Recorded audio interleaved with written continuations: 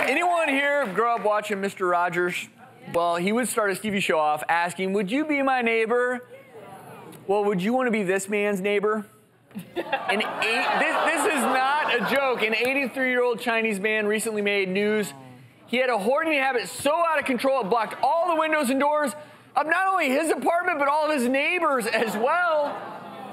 Now you're seeing that there, and his neighbors had to leave through the emergency exit. Finally, his children apparently called in 20 people, and they were able to remove all of that.